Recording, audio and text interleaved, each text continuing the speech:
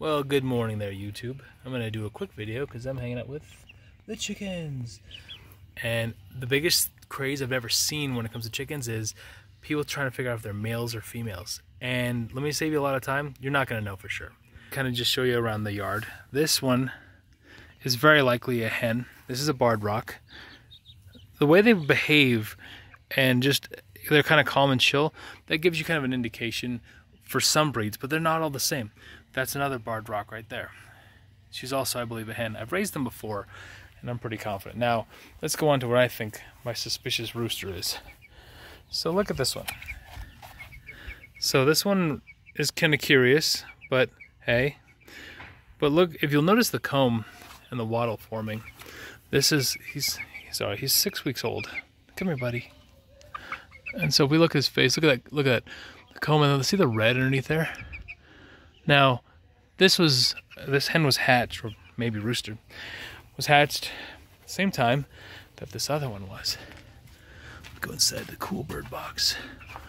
Now look at the difference. Come here, come here, come here, guys. Again, I believe that's a hen. That red indication on the Easter egg right here Unfortunately, that indicates a lot more like a rooster looking bird.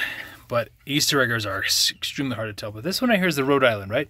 Same age as the other one. Now, if I can catch her, my daughter has done a very good job of taming these guys, so they're not too afraid. Look at the difference in the face. See the little small comb and underneath isn't as red? It's okay, girl. Sorry. Now these guys, though, this is the one I suspected to be a rooster but it's hard to tell these two. Like they're both, you know, there's a little bit of see the red indication right here.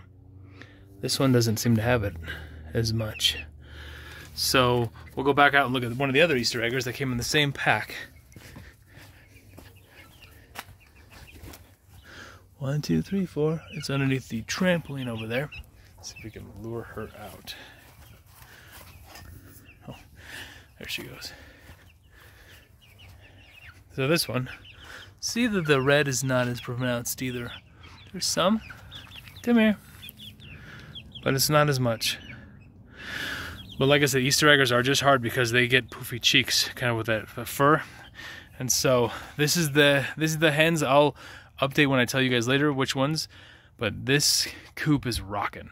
Um, the only thing that sucks is we've had a lot of rain, and so I know this is called OSB. I was just trying to be cheap, but um,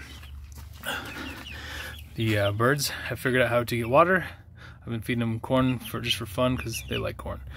But like I said, guys, let's uh, see if we can figure out what these are. They're great birds, but the roosters are not allowed in the neighborhood, so I may have to do a little swaparoo.